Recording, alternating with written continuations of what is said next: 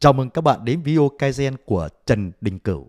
Chúc các bạn Kaizen nó là một hành trình, nó là một cái con đường chúng ta liên tục liên tục cải tiến và sáng tạo nó. Ngày hôm nay tốt hơn ngày hôm qua và ngày mai chúng ta làm tốt hơn ngày hôm nay. Chứ Kaizen nó không phải là một sự kiện, nó không phải là một cái phong trào rồi nổi lên rồi sau đó là chết ỉu các bạn nhé. Vậy thì muốn thực hiện Kaizen thành công, chúng ta cần phải có một cái văn hóa thúc đẩy Kaizen. Và thưa các bạn, khi nói tới cái cụm từ văn hóa, nghe nó rất là phức tạp đúng các bạn.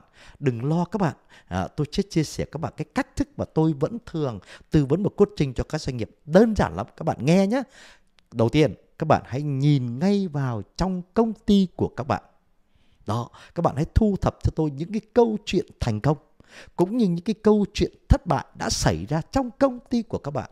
Sau đó các bạn phân tích cho tôi điều gì đã tạo ra cái sự thay đổi cải tiến thành công đó, điều gì đã tạo ra cái sự thất bại đó và ai đã hỗ trợ và họ hỗ trợ như thế nào để thúc đẩy cái sự thành công đó đã xảy ra. Những yếu tố nào đã kích thích cái việc thay đổi, việc cải tiến đó thành công trong quá khứ.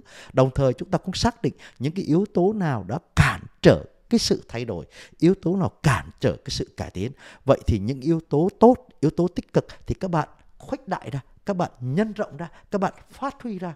Còn những cái yếu tố mà tiêu cực thì các bạn ngăn chặn đó và phòng ngừa không cho nó tái diễn nữa. Thế là chúng ta hình thành ra một cái văn hóa cai gen nó thúc đẩy các bạn nhé, nó kích hoạt cai gen mà cái văn hóa đó đã đã có sẵn từ trong công ty của chúng ta. Chúng ta chỉ cần nhìn vào đấy và chúng ta làm ra.